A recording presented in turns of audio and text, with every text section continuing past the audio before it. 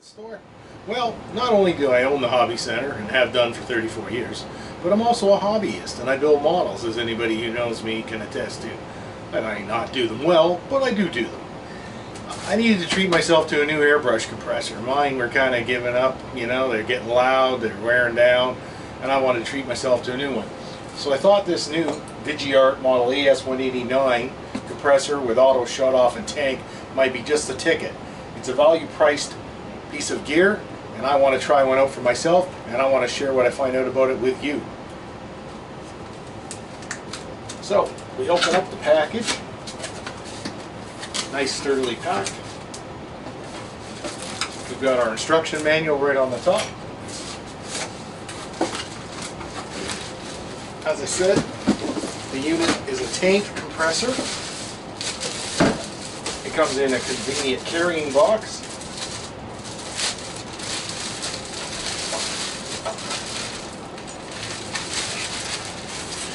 It's got rubber feet to keep it firmly in place where you put it. It has a, an adjustable pressure gauge, moisture trap. It has two airbrush holders on the top that you can store your airbrush on. I do notice right away that it's got a 1 8 inch compressor fitting as opposed to the quarter inch standard that you find on most brands like Paasche, Iwata, and uh, Badger. That's no problem, there are adapters for that. That's everything we see in the box. So right away I can tell you I'm going to need a 1 quarter to 1 8 adapter to fit my air hose onto this compressor. So be that as it may, let's switch it on to see what we hear.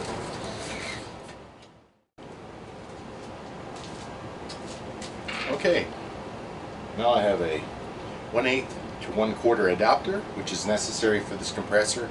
As I say, if you run Paasche, uh, Badger, Iwata, or many major airbrush lines that use a quarter inch adapter on their airbrush hoses. This is a Paasche hose. This will connect this, and we'll connect this to the compressor. So it's always good to get a little bit of Teflon plumber's tape just to wind around the threads to ensure a good seal. Now it's very important with the auto shut-off compressors that you use this tape because you want to get a very good seal. If you have any air leaks, the automatic shut-off will not function.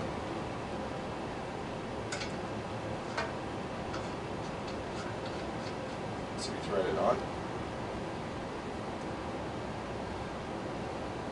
Using a wrench or an adjustable wrench, just snug the bolt. Do not over tighten. You can't break it off and end up with a real mess. Just snug. Until you feel it stop. There we are. Now we do the same for the airbrush hose.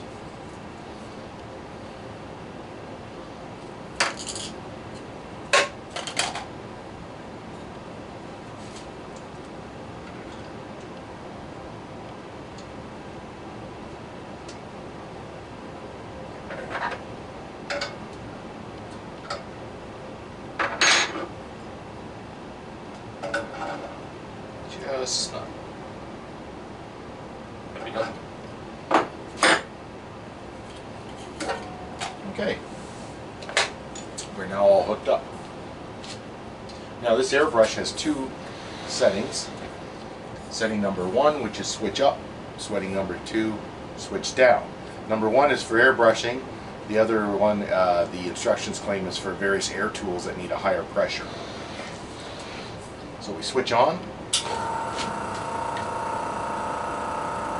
Okay, it's not silent, but that's a decent, decent volume if you can hear it on the video.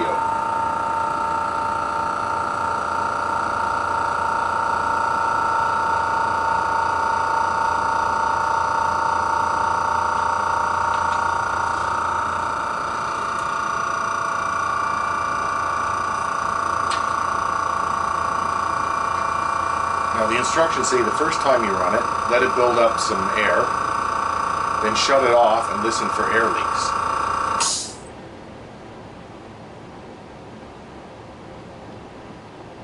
They also say to watch your pressure needle. If it goes down gradually, you have good seals. If it goes down quickly, you have an air leak somewhere and you must attend to it. Ours hasn't budged, so I'm going to turn it back on.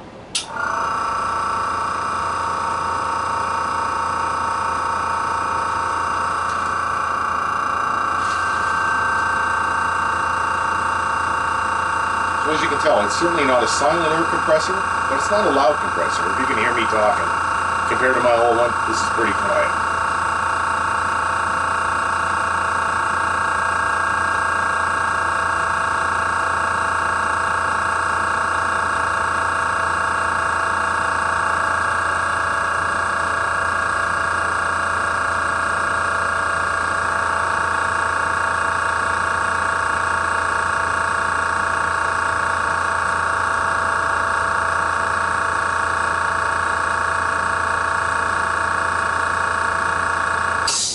Okay, our tank's filled up. It auto Okay. shut off. So as the instructions say, the auto shut off is set at four bars. You'll see the number four in red on your gauge. It will shut off there, or it should shut off there. This thing is primed and ready to go. We have our airbrush. And as you can see, we have a good flow of air. There is an adjuster on this. You can adjust the pressure up or pressure down by pulling up, turning it, pushing it down to lock it, there you have your pressure set. You can play with that, get different pressures out of it. You can see it's going down as I turn it in a counterclockwise position. Find the pressure that works for you on your test piece, and then of course the compressor kicks back on to bring the tank pressure up to four bars. So will run fairly continuously if you're using it, but as soon as you stop, of course, when it comes up to four bars, it will stop.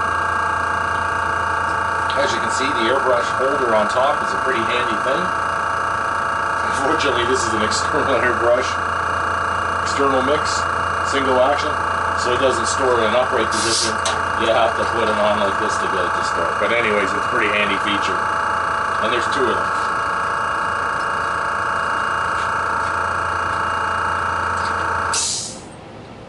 So that's my review of the compressor. I think I'm going to be very happy with it. I hope you, uh, if you're in need of one, you check it out too. Price is very competitive. As I say, the regular price at the Hobby Centre is $244.98 currently, and we have them on sale for 225. Thanks for watching the video. Please like us, please subscribe, because we hope to bring more of these to you. And a lot of how-to videos and a lot of things to get you excited about the hobby that we're passionate about. Thanks for watching.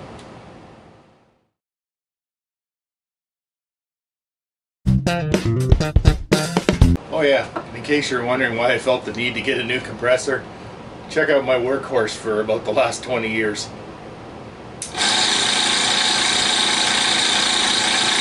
Isn't that fun to have blowing in your ear while you're trying to airbrush a model?